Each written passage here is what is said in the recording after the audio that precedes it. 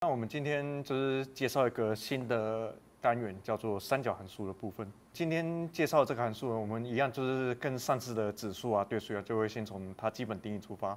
然后呢，介绍它之间的一些相关的恒等式跟不等式。那我们在讲三角数之前，我们要先从一些它比较基础的地方出发，就说我们先介绍关于角度的部分。好，那角度是怎样呢？就是我们先画出一个圆，这样子好。啊，现在画面上就有一个圆嘛，好，黑色的。然后呢，圆心是绿色的这个点。啊，我分别画两条直径，紫色的直径这样子，然后互相垂直这样去区分。然后呢，我们以前是说绕完整一圈是三百六十度这个样子，这样子绕一圈过来。是三百六十度这样子，只要是绕完整一圈啊，就只重复头跟尾相接那个点的话，就这样是三百六十度。所以半圆呢，半圆就是这样子，这样子是一百八十度。好，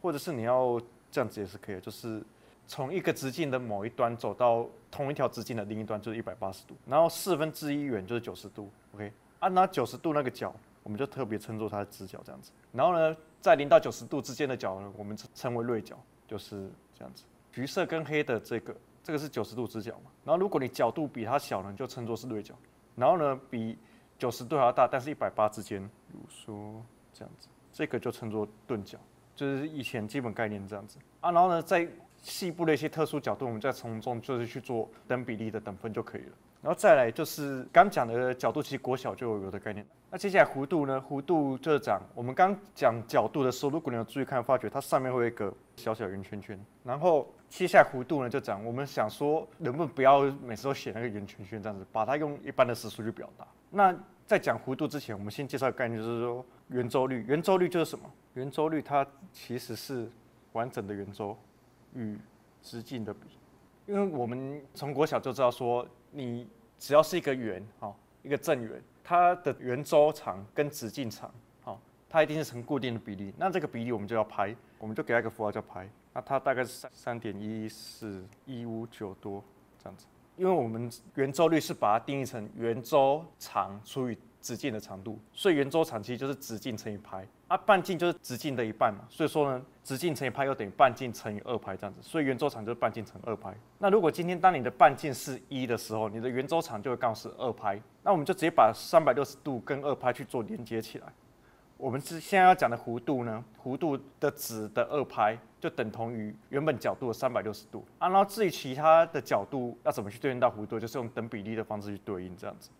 所以就是说，你原本这边一圈三百六十度。其实就等同于用弧度来看的话，就是二派。接下来我们就把几个比较常用的角度列出来，哈，还有它的弧度之间的转换。那其实这边列那么多，你也不用刻意去记它，你只要知道它原始的定义就是角度三百六十度的时候，在弧度来讲是二派这样子。啊，现在就等比例去换算。所以三十度是什么？为什么特别讲三十度？因为如果我们画一个正三角形，三个边相等，那以前国小就学过了。三角形内角和一百八，所以正三角形的话，也就等边三角形的话，你三个角都要相等，那每一个角就是六十度，所以六十度是一个很特殊的角。然后你把它做对半，对半去分的话，它刚切下去的角呢边就变成三十度。所以一般而言，我们会想要知道三十度的一些性质这样子，然后以及。等腰直角三角形啊，等腰直角三角形的话，除了直角以外，剩下两个角的总和也要是九十度啊。因为等腰的关系，所以就砍半四十五度嘛。所以呢，我们也会想要知道说四十五度角的一些性质这样子。那回到刚刚我们讲的角度三百六十度的话，对应到的弧度呢，它应该是二派，就一圈二派嘛。那三十度就是三百六十度乘十二分之一。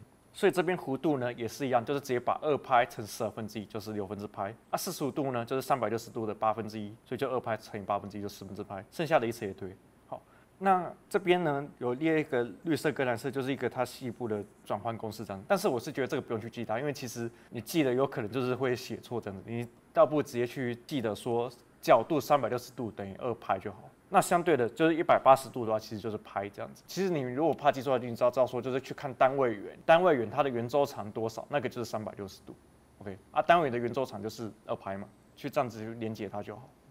然后再来呢，我们就再提一下，回顾一下国中的毕氏定理这样子。啊，如果国中毕氏定理有印象的话，就是我们会讲说一个直角三角形，这边我用蓝色特别把它框起来，这边它是一个直角三角形。OK。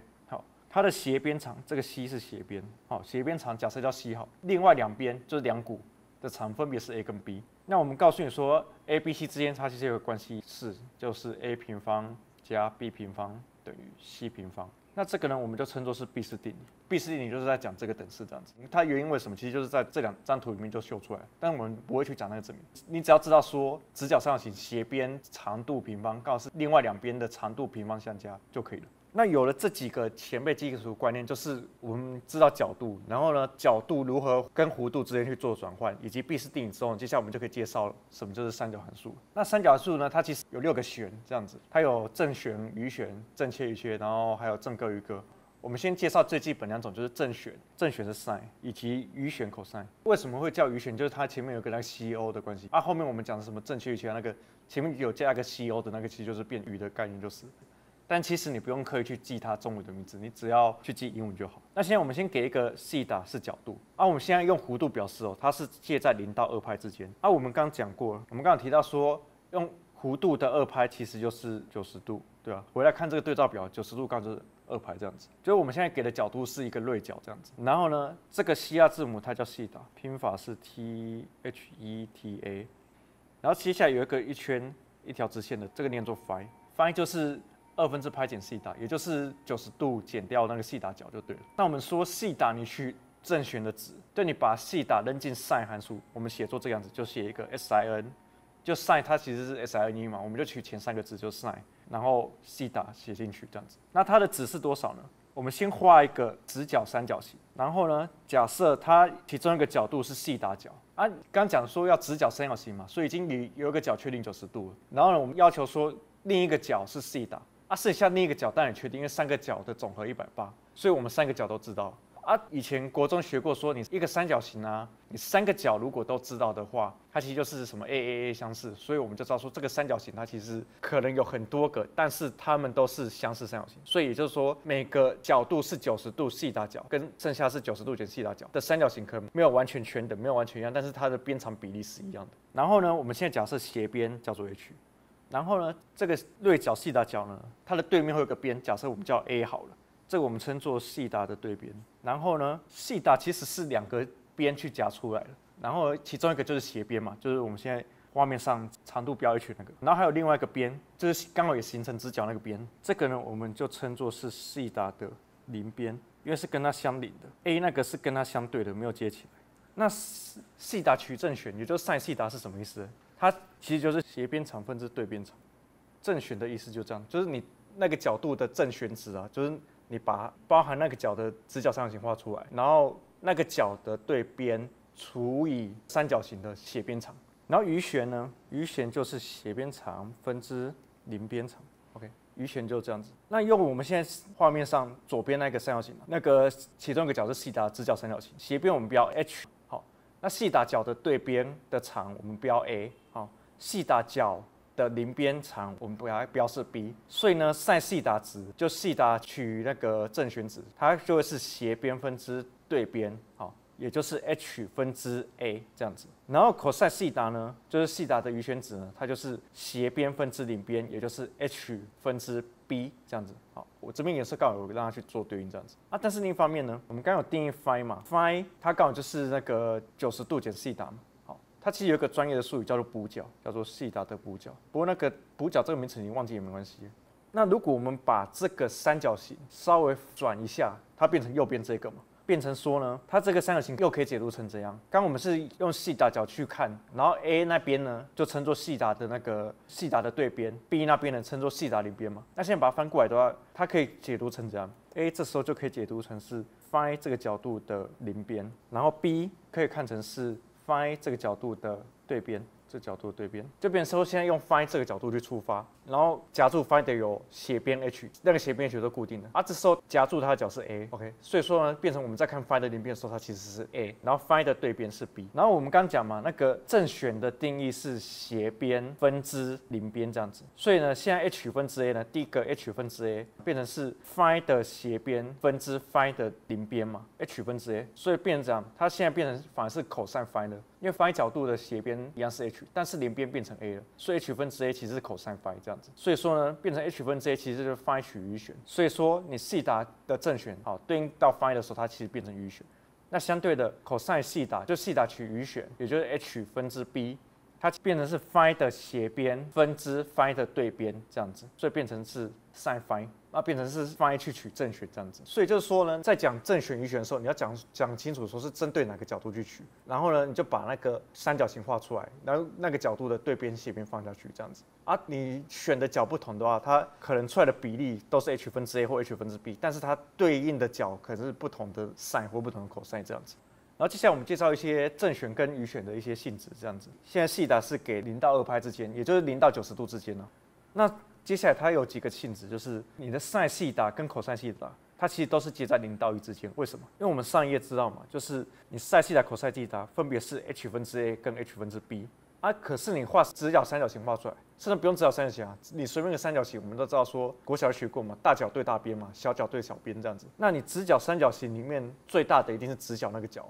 啊，啊，直角那个角对应到的边长 h 一定是最大的边长哦，所以你 a 跟 b 都会比 h 要小，所以也就是说你 h 分之 a 跟 h 分之 b 都会比一小，因为分子都比分母小这样子。啊，但是你三角形画出来，你不可能边长是零嘛，所以你 h 分之 a 一定是正的，因为分子不可是零，然后 h 分之 b 也会是正的，所以 sin 西塔跟 cos 西塔两个呢，都一定介在零到一之间。然后再来呢，sin 西塔平方加 cos 西塔平方等于一，原因是因为你 sin 西塔是 h 分之 a 嘛，然后 cos 西塔是 h 分之 b，那我们把它通分嘛，变成 a 平方加 b 平方，好，a 平方加 b 平方。可是我们刚前面。在讲毕氏定理有讲过啊，就是你斜边的平方会等于两边的平方相加嘛，所以 a 平方加 b 方其实就是 h 平方，所以分子跟分母同时都是 h 平方，那就是一。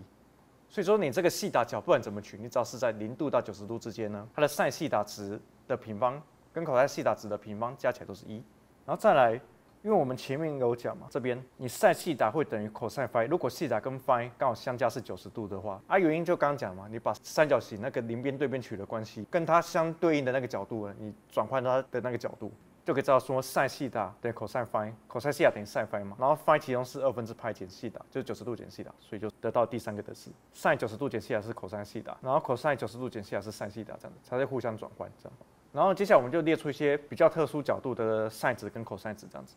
然后一样，就是现在我们会希望你们慢慢去习惯说弧度它是几度这样子，拍是一百八十度啊，所以六分之拍就是三十，四分之拍一百八除以四四十五度，然后三分之拍是一百八除以三六十度。那 sin 六分之拍是多少呢？就把三角形画出来，我们去看这个。现在我画一个正三角形，所以这边每一个角都是六十度。然后呢，我从中间这个角做一个中垂线过来，画一个直角中垂线过来，所以这边因为中垂线，所以这边角度对半分，所以是三十度这样子。如果这一边的长度是一好了，边长是一，那么它三个边原本正三角形三个边的边长也是一嘛？但是呢，因为你把它对半分了，所以这一段的长度呢？会变成一半二分之一。那这一段长度呢？这一段的长度用毕氏定理去看嘛，就是 b 平方加二分之一平方等于一。所以也就是说，b 其实是一减二分之一刮弧平方，就是一减四分之一开根号，也就是四分之三开根号，那就是根号四分之根号三啊。根号四我们知道嘛，因为二平方等于四，所以根号四就是二，就是二分之根号三。所以呢，sin 三十度，也就是 sin 六分之派呢，它是斜边分之对边嘛，所以它这边才会是二分之一。那 cos 西塔呢？如果今天西塔是三十度的话，哎，就是斜边，它的三十度。角的斜边分之三十度角的邻边，好，就是一分之 b，也就是一分之二分之根号三，所以这边才会是二分之根号三。啊，这时候我们先跳过四十度，先看六十度啊。六十度啊，其实有两个看法，一个就是你三角形现在的角度呢，这边用这个角去看，那它的邻边呢就会变成是二分之一，啊，它的对边呢，六十度对边呢，就是三分之派对边呢，它是蓝色的 b，也就是二分之根号三，所以呢，sin 六十度，也就是一分之对边是。二分之根号三，所以就会变成是 sin 六十度呢，就是二分之根号三。然后 cos 六十度，cos 三分之派呢，变说是一分之六十度邻边二分之一，所以说就是一分之二分之一，那就是二分之一这样子。或者是你也可以用我们这边提到的这边第三个的公式去代 sin 六十度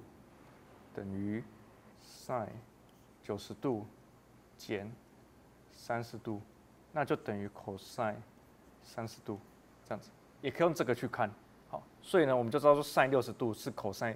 三十度，那就把 cos 三十度的角度超过去就好，就变成啊，以此类推，好 cos 六十度其实就是 sin 三十度，就用类似的方式。如果你要用第三个等式的话，那不管看你要哪一个都可以。那最后。四十五度角的话，我们画一个等腰直角三角形。因为你是等腰嘛，所以斜边以外的两个边一样长，然后直角以外的两个角一样啊。因为你三个角内角和一百八嘛，啊已经扣掉一个直角九十度，剩下两个角就是加起来也要是九十度，那就分别分到了四十五度。那如果我假设它的斜边长是一好了，那两边长都是 x，因为等腰直角三角形，所以变成 x 平方加 x 平方等于一，所以二 x 平方就是一。所以 x 平方就是二分之一，所以 x 的长度就是二分之一开根号，就是四分之二开根号，那就变成二分之根号二。所以两个边都是二分之根号二。所以呢，sin 四分之派就是斜边分之对边，也就是一分之二分之根号二，那就是二分之根号二。然后 cos 四分之派呢，就 cos 四十度就是一分之它邻边，一样也是一分之二分之根号二，所以就最后也是二分之根号二，所以就刚好两个一样这样子。然后你可以去验算，这些每一个都是介在零到一之间嘛。然后呢，同样角度的 sin 值平方跟 cos 值平方，就像这边，比如说这一个，比如说这边二分之一平方跟二分之根号三的平方加起来刚好会是一，因为二分之一平方是四分之一，二分之根号三的平方就是四分之三，四分之三加四分之一就是一。而其他的角度你可以去验证，这些三十度啊、四十五度跟六十度是比较常见的角度啊，当然有些其他的角度了，不过那个出现机会就比较少，那就不在我们讨论范围。那再来，我们介绍就是广义角。好，我们刚才讨论三角函数角度，先局限在零度到九十度之间。那我们接下来就想说，能不能不要放零到九十度，也就不只放零到二分之派啊？能不能放多一点？比如说放三分之派，甚至到派、二派，甚至再下去，甚至能不能放负的这样子？这个情况下，我们先介绍什么叫做广义角。我们现在先给好一个单位圆，单位圆是什么意思？单位圆就是半径长是一的圆。我们这边再要求一件事哦。圆心刚好是圆点，也就是零零点。我们现在先画好一个单位圆，然后呢，你这个单位圆跟 x 轴的交点呢，它会分别有一零跟负一零嘛？会啊，我先把一零标出来，这边这个顶高是一零。那接下来我们就用一零这个点呢当起点，开始去绕圆周跑。那我们规定你要绕的话，你可以顺时针跟逆时针绕嘛？好啊，这边呢比较特殊的是，我们把逆时针定义作是正的方向，顺时针是定义负的方向，这样子，OK。然后从这个点开始出发去绕，比如说我绕了一百八十度，就刚好停在负一零，这样的话是一百八十度，也就是拍。那如果继续绕，这样三百六十度绕回来就是二拍，OK。好，但是我们再继续走，如果继续走，比如说我走个四百五十度，那变成跑到零一嘛。就是说，我现在绕一圈是三百六啊，我可以再继续绕，好啊，我每绕一圈我就一直加三百六，但你可以不用绕三百六的整数倍，就是不一定要弧度二派的整数倍，你可以中间停下来。广义角其实就是这样子，就是我们不止绕零到九十度，我们还可以突破到三百六，甚至再上去这样子，就用一零去出发点上去绕啊。如果你是顺时针的话，这样反过来，这样的话就是到这边，现在这个时间点是负二分之派，也就负九十度，负一百八。然后我这边是画离圆周远一点，但是你就想象成它其实都是在圆周上绕，负两百七就负二分之三拍，负三百六，然后负四百五这样子去绕。比如说我想要绕个什么七百五十度啊，七百五十度就是三百六十度乘以二再加三十，所以就是我先逆时针正的方向绕个两圈，因为三百六十度乘以二嘛，然后再继续往逆时针方向走三十度这样子。那你看嘛，你绕一圈之后，其实。它停到的点是跟没有绕一圈是一样的，所以就是讲，你每绕三百六十度，就是每绕二拍，哈，它其实是会回到同样的点。也就是说，你只要经过二拍的整数倍，不管是正的还是负的，只要是整数倍，它其实都对应到同样的点。那有了这个广义角的观念之后呢，接下来我们就可以定义广义角底下的正余弦函数。也就是说，我们刚才 sin 跟 cos 啊，不是只能放零到二分之派啊，就是零到九十度之间。现在我们可以把它放更广的，可以零到二派，甚至更多。那所以呢，如果现在随便给个细达，细达就等等一下我们要绕的那个弧度长。啊，我们现在呢都是强制都从一零出发，然后沿着圆周长走角度细达。然后注意，我们现在角度细达是可以任意时速的。然后它走弧度长细达之后，它在单位圆上会停在 x y 点。那我们就定义，如果你是从一零那个点，然后呢逆时针正向的去绕西达。啊，当然如果西达是负的，就变成是方向来讲是反过来。绕了西达。之后，它落在的那个单位圆上那个点，假设要 x y，那我们就定义 sin 西塔就是那个 y 值，cos 西塔就是那个 x 值，就我分别画面上的那个红色跟深蓝色的部分这样子。注意哦，要是在单位圆上到哦。然后呢，我们刚讲嘛，那个三角数除了 sin 跟 cos 以外，还有四个，总共有六个这样子。那我们就定义剩下的这几个，定义 tangent、cotangent、secant、cosecant。tangent 是正切，cotangent 是余切，就是 tangent 再加一个 c o 嘛，所以变余的啊，secant 是正歌，以及 cosecant 是余歌。然后它的定义分别是 tangent 是 cosine 分之 sin。啊，如果就是你刚刚那个西达从一零那个点出发，逆时针到西达角，引到 x y 那个点的话，那其实 tangent 西达就是 cos 三分之 sin，其实刚好就是 x 分之 y。但是你这边你会发觉啊，你是 x 分之 y，那你分母 x 不能是零嘛？所以这边有加一个条件，就是你的 x 也是 cos 西达分是零。啊，cos 西达什么时候是零呢？就你 x 是零的话，那就是分别在单位圆上跟 y 轴交集两个点嘛。因为 y 轴就是 x 等于零的那条线嘛。啊，所以交集完就变成是零一跟零负一。这样子，换句话说，你 cos 西塔不能是零的话，也就是说你的西塔不能够是九十度，因为这样子走是九十度嘛。然后还有这样子走负九十度，然后还有就是分别到了九十度之后再绕一圈，或负九十度之后再绕一圈。啊，但不止一圈，你只要是绕整数圈，最后都是落在同一个点嘛。也就是说，你的西塔不能是二分之派跟负二分之派，就正负九十度，不能是正负九十度。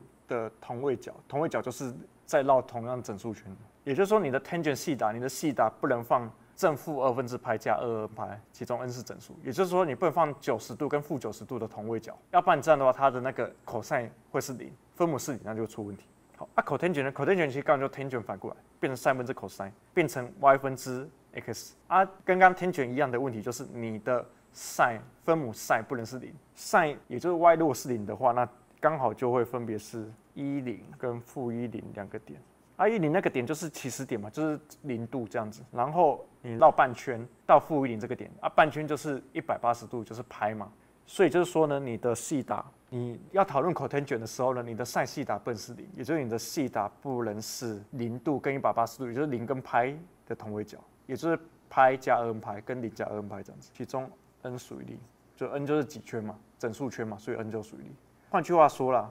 你的西塔不能是派加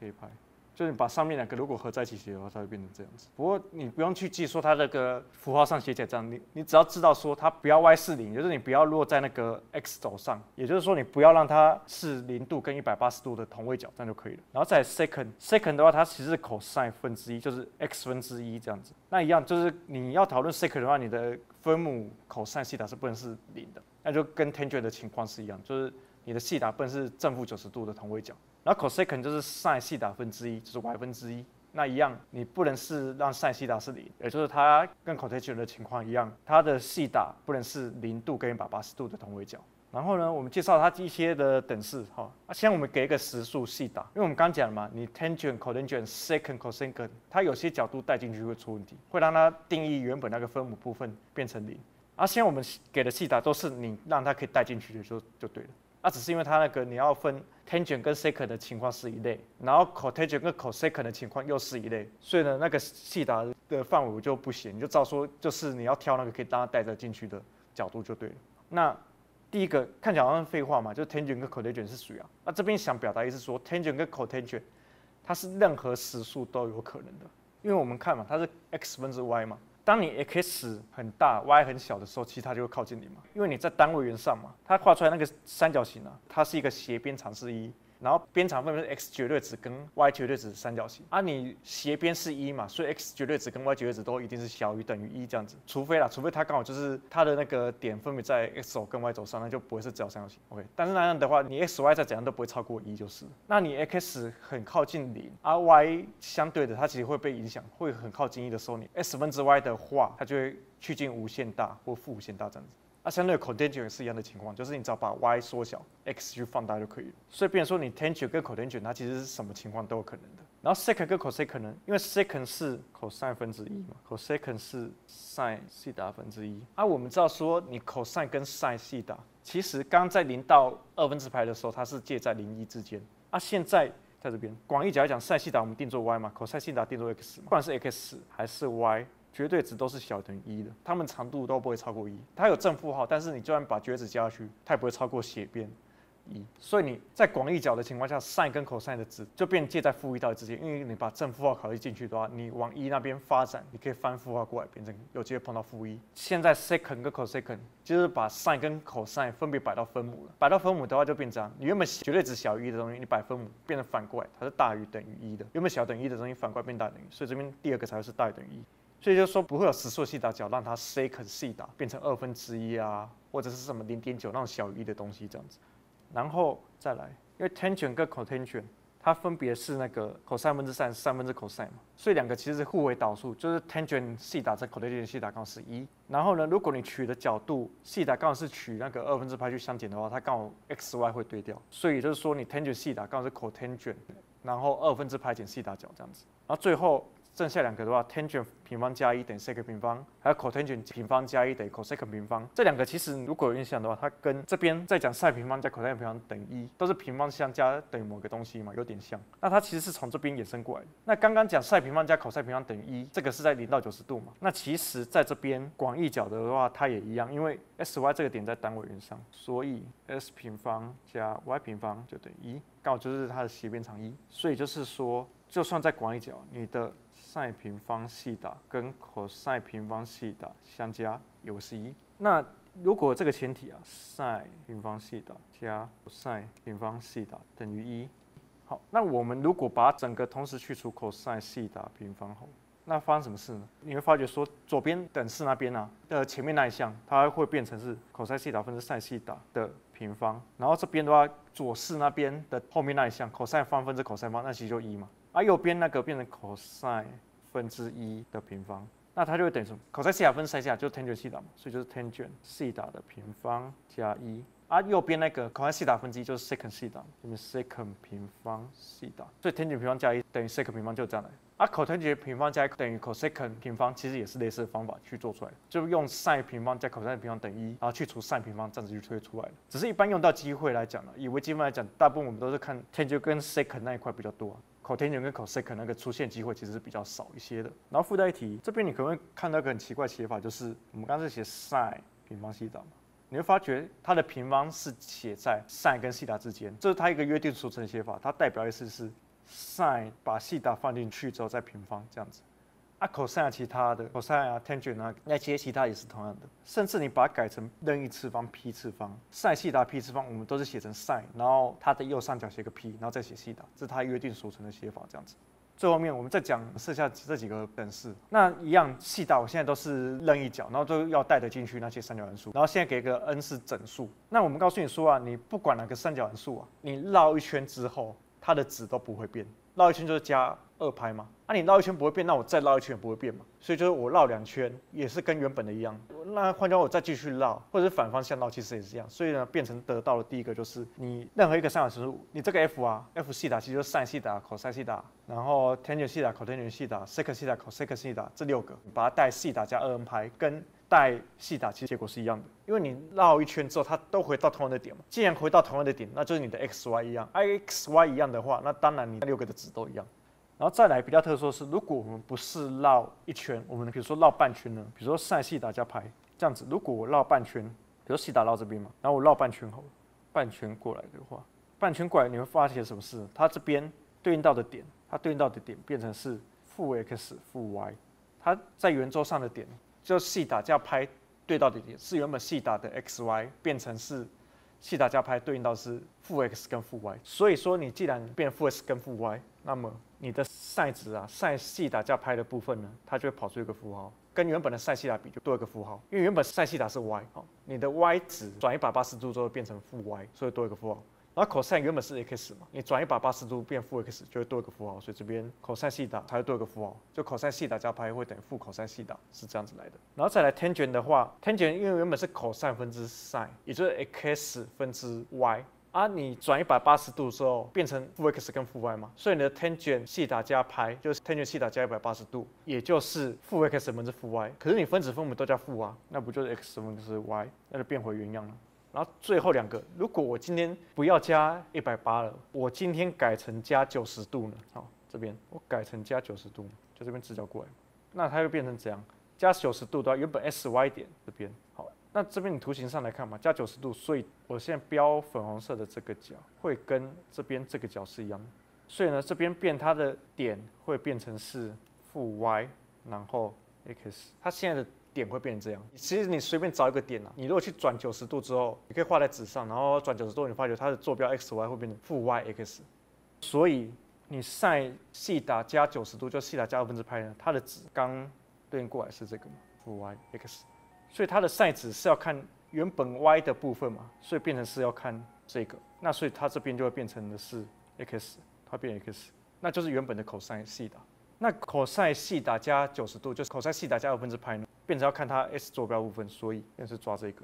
所以就变成负 y 嘛。啊，负 y 就是原本什么？原本 sin 西塔是 y 啊，所以就是 sin 西塔再乘一个负号这样。所以呢，它加九十度就不会比较麻烦的。刚一百八的时候，其实就是你 sin 跟 cos 都是固定负号啊。tan 其实你就直接用 sin 跟 cos 去相除就知道了，就是负号消掉。可是如果是加九十度的话，跟刚我们在前面讲到一个这边 sin 二分之派减西塔，就 sin 九十度减西塔会变 cos 西塔，跟 cos 二分之派减西塔，就 cos 九十度减西塔会变 sin 西塔。就你其实只要沾到九十度的那种，它 sin 跟 cos 的地位会对调。但是麻烦的是这边。对，如果是加九十度，刚是用九十度去减嘛，九十度去减就直接对掉。但是如果是加九十度之后的 sin 值，会是原本的 cos 值，就是第四条。但是你加九十度再取 cos 啊，它是原本 sin 值再多一个负号这样子。那这个的话，我是不建议去记，为什么？你其实如果你要记的话，你就知道说，只要沾到九十度的，它 sin 跟 cos 的地位会对调。啊，至于正负号呢，你就实际找一个特定角度，比如说三十度啦，或者是六十度，你实际去揣出来看，这样子，然后去把正负号写出来，这样子。